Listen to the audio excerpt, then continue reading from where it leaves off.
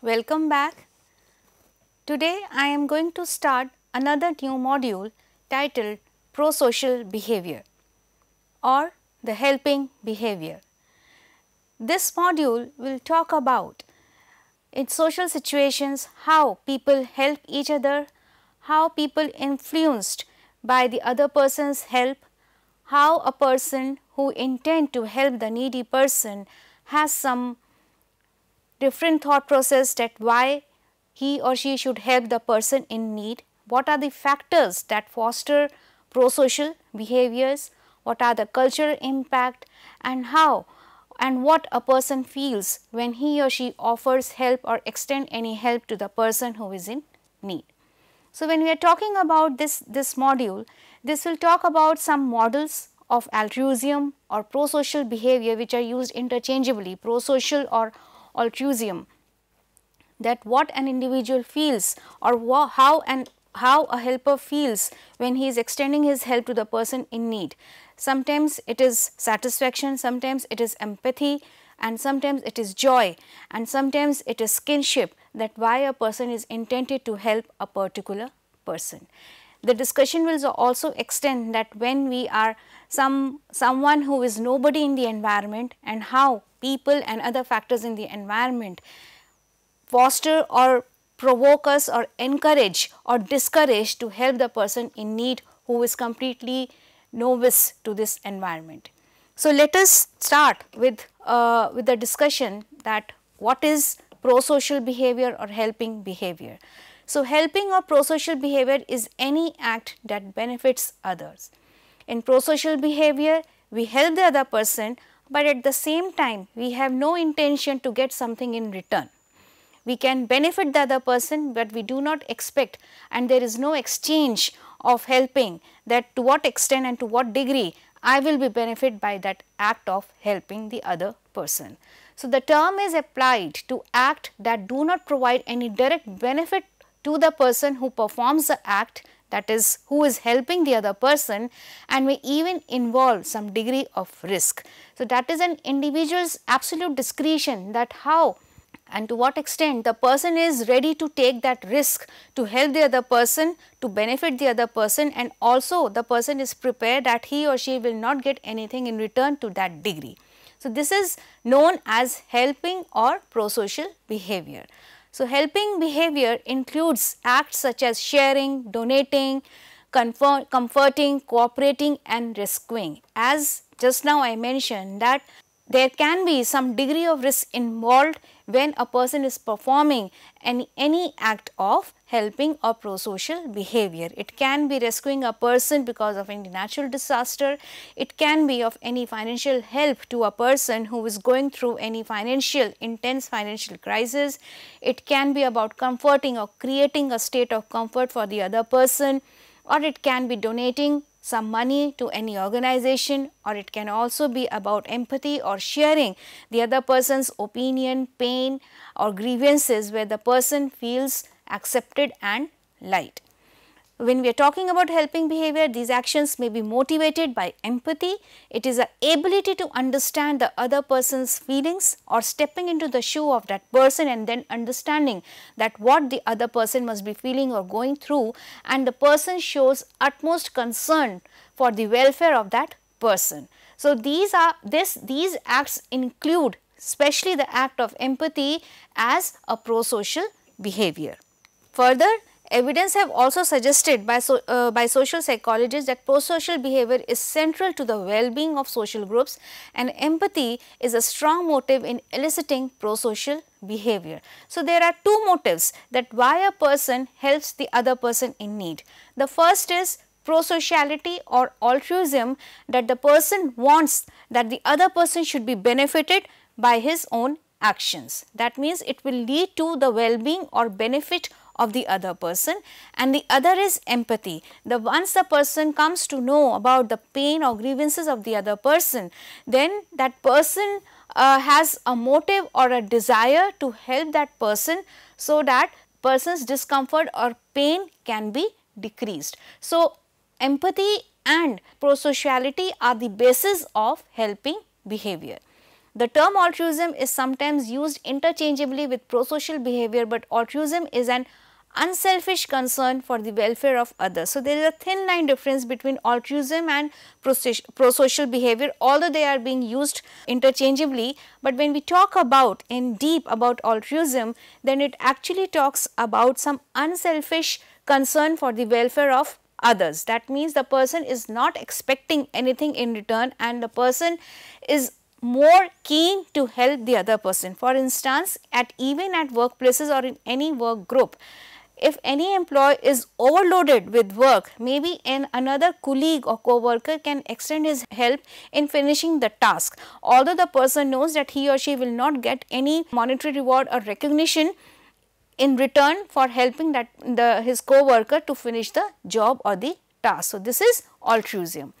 So, altruism refers to pro-social behaviors that are carried out without the expectation of obtaining any external reward. It can be in form of bonus, it can be in form of hike in pay or it can be even not receiving any recognition or any internal reward that is self reward, but it is an individual's discretion, absolute discretion to help the other person without getting any benefit in return.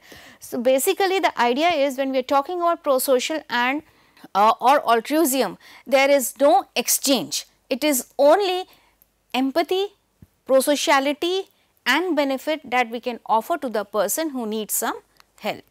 Now, when we are talking about the perspective uh, about prosocial behavior or helping behavior, then there are certain perspectives that have been studied by social psychologists in different forms of help, helping behavior. That what kind of uh, factors or determines prosocial behaviors. At the same time, what a person feels when he or she is helping the person in need. So, social psychologists have identified certain perspectives on helping behavior. So, the first is reciprocity that indicates about reciprocal altruism. Till now we have discussed that altruism is something unselfish concern for the other person and not getting something in return at all. But at the same time if two people are engaged in helping and receiving behavior, then there has to be some kind of uh, reciprocity at the same time and how it can happen. For instance, two people are in a group, one person has surplus of food and the other person is suffering from scarcity of food. Now, in that case the person who is experiencing scarcity of food the value of food is very high and the person who has surplus of food the value of food is very low. Now, when the person who has surplus food is sharing that food with the person who is deprived of food, then definitely the person in need has more chances of his survival that is for sure. Now, this is something altruism, but in the end when the same person who is who is also deprived of food and he is getting enough food from the other person, then in next next situation maybe the person will also help the same person in reciprocation from where he has received the surplus of food. Now, in both the cases the idea is when two people are helping each other or or any one person who is helping the person in need, then there, there is some reciprocation and there is no exchange and they are expanding the chances of survival of both the people. So, this is reciprocal altruism. So, a basic rule of social life suggests that individuals tend to treat others as these persons have treated us. Now, this is obvious that when we are treating the, when we have treated the other person good, we will also receive the same thing or or when individuals tend to treat others as these persons have treated us. If we if the other person has treated us good then we will also treat him the good. But at the same time when there is chances of survival is very important then both the parties tend to help each other in reciprocation while not expecting anything in return because the survival of the chances of survival is very important. Under such circumstances when there is deprivation, there is scarcity, then both the groups can help each other and there is reciprocal altruism. So, in choosing between cooperation and competition, then this is another situation that if we are choosing between cooperation and competition, we seem to adopt the general rule of reciprocity when others cooperate with us and put their selfish concern aside. person who has surplus of food is helping the person who is in dire need of food, but he has no unselfish concern because the because the person is trying to expand or increase the chances of survival of that person. But at the same time if the other person is not responding in the same way, we do not respond in the same kind, then it leads to competition which where it nullifies the significance of reciprocal altruism. Where and at the same time if the other person tries to defect or pursue their own interest, then we also do the same. So, we tend to respond to situations even with in reciprocation that means if the other person is helping us we will also help the other person. If the person has defect uh, uh, our own interest then we also tend to defect. Now, if there is a situation to defect that means only thinking about one's own motives then there is no way to understand that how the concept of reciprocal altruism is implicated. But yes definitely if there is chances of help giving one help and getting in return in terms of reciprocation the same help then there is a, there is a there is a perspective of existence of reciprocal altruism. So, it is not only about reciprocity it is about reciprocal altruism that when we are helping the other person in some other situation we will also receive the the same help in different kind. So, this is about reciprocating altruistic behavior. If any selfish concern is existing in that reciprocation, then it is not altruism, it is some completely cooperation and competition. Further, they have also evolved with the theory of reciprocal altruism and suggested by sharing resources such as food, organisms, increase their chances of survival and thus the likelihood that they will pass their genes on to the next generation. This is what we have discussed just now that how this concept can be experienced based on understanding or giving meaning to the situation. Further, they tend to share in such a way that the benefits are relatively greater for the recipients of such cooperation while the costs are relatively minimal to the provider. As I mentioned that person who has surplus of food, the value of food is not is not very high, but the person who is suffering from scarcity of food, the value is very high. So, that means in both the cases the chances of survival are increasing. When the situation is, is reversed, cooperation will again benefit both the parties and increase their chances of survival. Now, if we reverse the situation that if by chance the surplus party also suffers some kind of scarcity, then definitely the other party will also benefit or try to exhibit altruistic behavior in return, then again in the another instance also reverse situation also the chances of survival are very high. Therefore, organisms that act in a purely selfish manner do not gain such benefits. Now, in the same example of surplus and scarcity of food example, if the person who is who, who did not respond to the requirement of the surplus party also then it is an selfish concern not an unselfish concern and there the benefits are only being received by one party. So, this is the perspective of reciprocal altruism. The other is negative state relief model that whenever we have some problem, we have some need, we have some grievances, we have some pain, then we try to help the other person which gives, which as a consequence, which gives some immense satisfaction to us only. When we are in pain and we try to help the other person, then it tends to reduce our pain itself. So, this is a negative state relief model. According to this model, uh, the another possible motive for the helping others is in a sense the mirror image of empathy.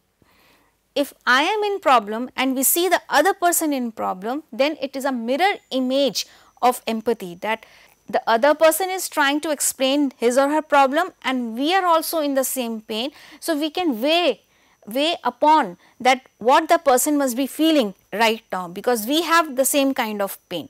So, this is mirror image of empathy and instead of helping because we care about the welfare of another person, we understand their feelings and share them and we help because such actions allow us to reduce our own negative emotions. For example, a, a, a boy who has scored less or a poor grade in the exams, he is in pain because he could not perform well. But he comes to know that the, his junior student is also suffering from the same situation that even he or she could not score good grades in the exam, then maybe in that situation that student will try to help the other person by giving him some guidance or counseling how to score good grades in the exam. So, in this type of model that is negative state relief model, there is empathy, mirror image of empathy, there is empathetic concern and there is empathetic accuracy and emotional empathy because the other person is understanding the other person's pain the person is very much concerned for the welfare of that person and at the same time the accuracy of understanding the feeling is very precise. The person can understand, touch upon the level or degree of pain he or she must be going through. Under such circumstances when the person tries to help the other person, this tend to reduce the pain of that person. That means pain of that, that person means the person who is offering help, not who is receiving, but the person who is offering help while being himself in pain. So, this is negative state relief model. So, in other words prosocial behavior can act as a self help undertaking to reduce one's negative effect. So, a boy who could not score good grade in the marks, but at the same time he is trying to help the other person to score good marks, then it reduces one's own pain. This is negative state relief model. For instance, you, we engage in a prosocial act primarily as a way to improve our own negative mood and this kind of situation unhappiness leads to prosocial behavior and empathy is not a necessary component. Even if there is no empathy for the other person, we are not, we are just thinking about welfare or benefit of the other person, then also it tends to elevate an individual's mood. So, this is this is negative state relief model where helping sometimes reduces our own negative effect or emotions. The idea is again prosociality that in what manner the person is offering help to the other person and how it impacts the same person. There is also an influence, we are helping the other person, the person is definitely getting benefit, but to what extent we are also getting benefit in what aspect. It can be in terms of benefit in return or it can be in terms of reducing one's own negative state. The other is empathy altruism that means it feels good to help others. Again there is no expectation that I will get something in return, but definitely when we are helping the other person then it is going to generate some positive effect within us. It gives some kind of calmness and satisfaction that we have helped the other person and the other person is emanating positive emotions. According to this model empathy or altruism, this suggestion that some prosocial acts are motivated solely by the desire to help someone in need. The, it is simple idea that I am helping because he needs some help and if he becomes happy then I, it gives me immense satisfaction. The powerful feeling of empathy provides validating evidence to the individual that he or she must truly have the other person's welfare.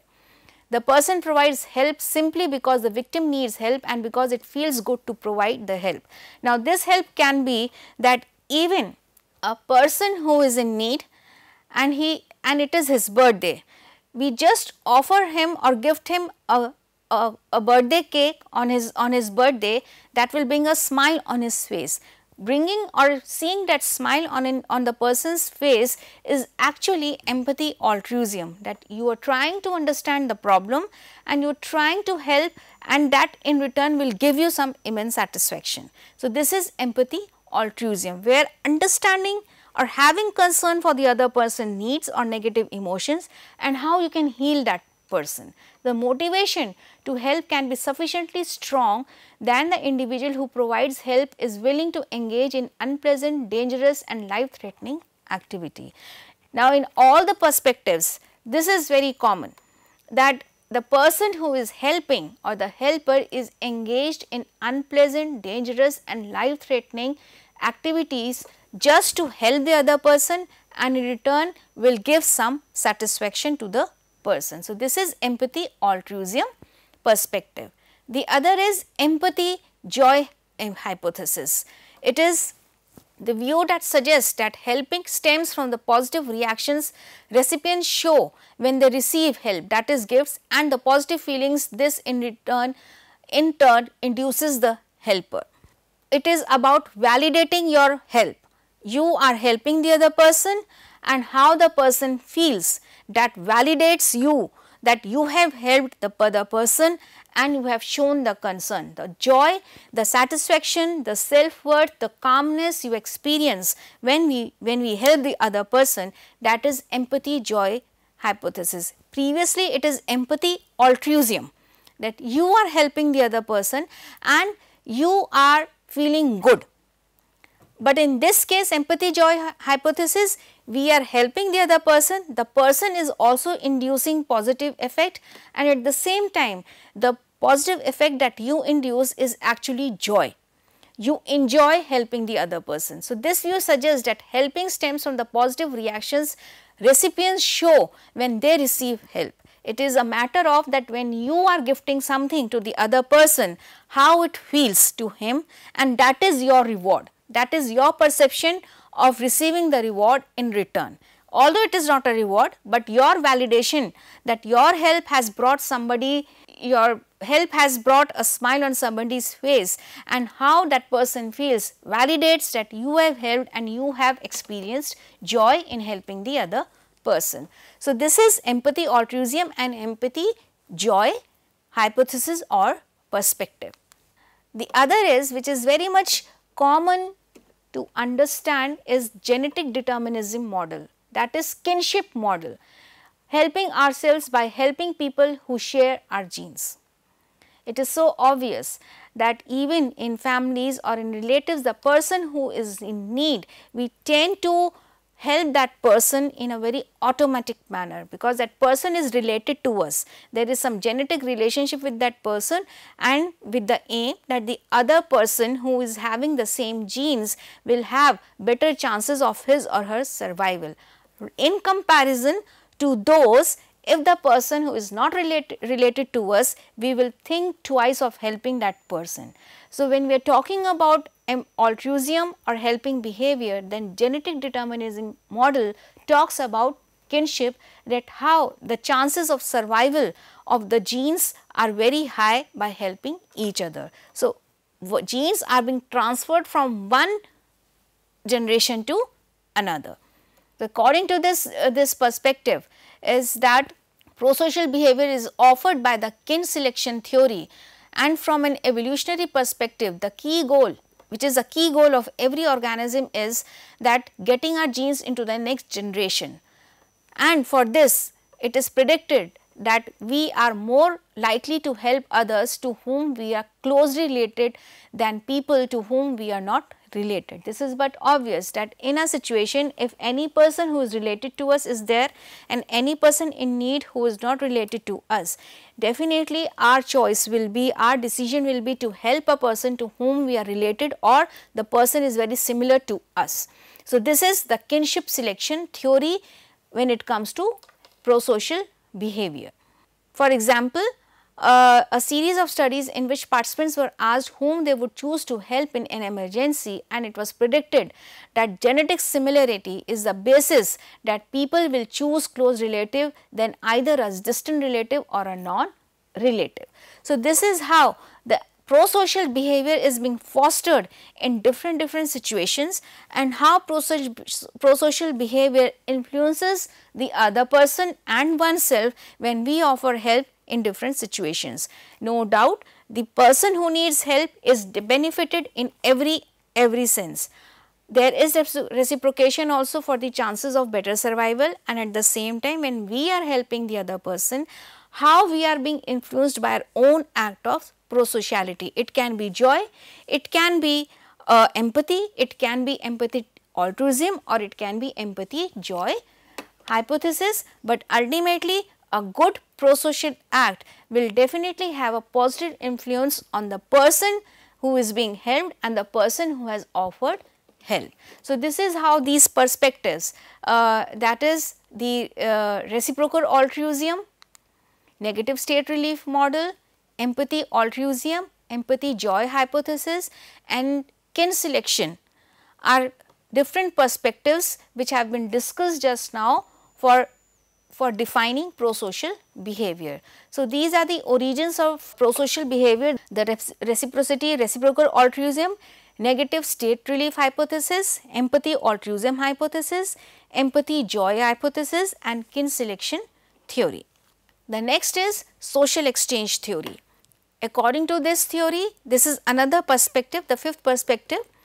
People help because they want to gain goods from the one being helped. People calculate the rewards and cost so, it is about exchange theory where the rewards and cost is being analyzed that if I am helping the other person then what is the cost that I have to bear and what will the reward that I will be, I will gain in helping the other person. So, it is about give and take, it is about the cost benefit analysis of helping the other person. So, the reward people calculate rewards and cost of helping others as a minimax strategy that means increasing the the gains and minimizing the loss. So, this is a minimax strategy at a philosophy for minimizing the possible losses or alternatively it can be thought of as maximizing the minimum gain. That means reducing the loss and gaining maximum benefit from one exchange. So, this is a social exchange theory. So, rewards are incentives in form of internal and external. External rewards can be in form of goods you, you get in return or it can be social reward or internal reward in form of image or reputation which is very much explicit in nature. You are helping the other person, you are gaining something in return in form of promotion, in form of enhanced image in the society which is very much explicit and apparent to the other members. Now, these rewards can be in form of friendship or gratitude where there are more coalitions or collaborations and people are more likely to help those who are more attractive or important whose approval is desired. Now, in this case people also try to help the person who is attractive or who has some higher position so that there is give and take, there is exchange in return and how people tend to collect those rewards for their help. It can be internal rewards which are generated by oneself when helping for example, sense of goodness and self satisfaction. When seeing someone in distress, one would empathize the victim and are aroused and distressed. This is something that even in social exchange also that people tend to help the other person, there is empathy, there is understanding of the emotions, there is more concern for the well-being of others but at the same time internally implicitly there has to be some exchange as well. So, we may choose to help in order to reduce the arousal and distress and gain something in return.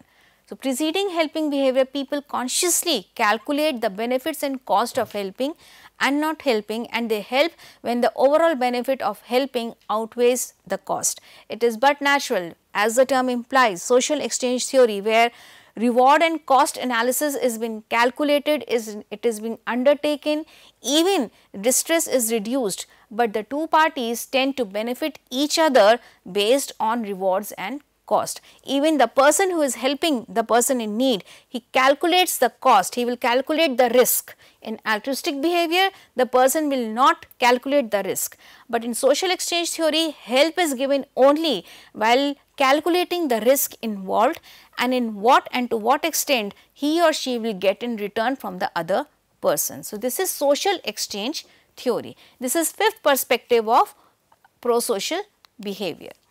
At the same time, there are some cultural differences also which are being experienced.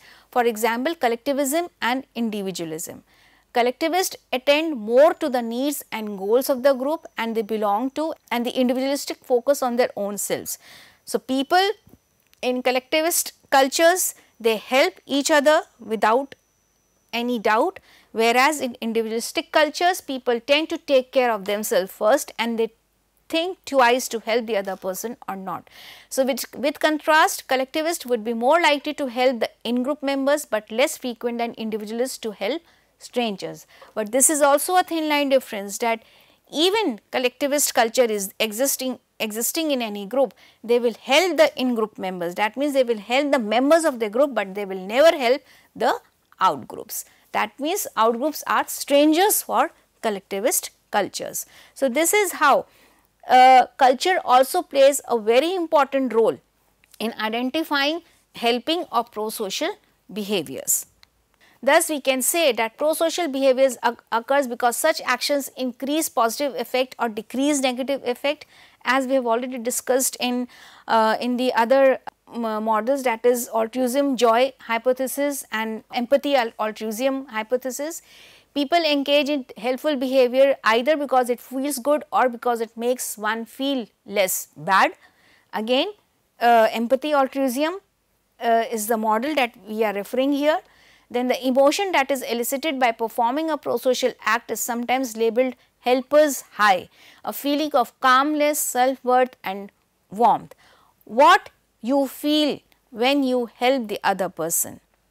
It is about the joy you experience in helping the other person that is helper's high, a feeling of calmness, self-worth and warmth. So, this is how prosocial behaviors are being studied by social psychologists with different perspectives in terms of reciprocal altruism, negative state relief model, it can be empathy altruism or it can be empathy joy hypothesis or social exchange. But the gist is that whenever we are helping the other person, the two people are benefited in terms of effect and in terms of benefits. So, I will stop my discussion here I will continue the discussion about the same aspect in the next class. Thank you so much.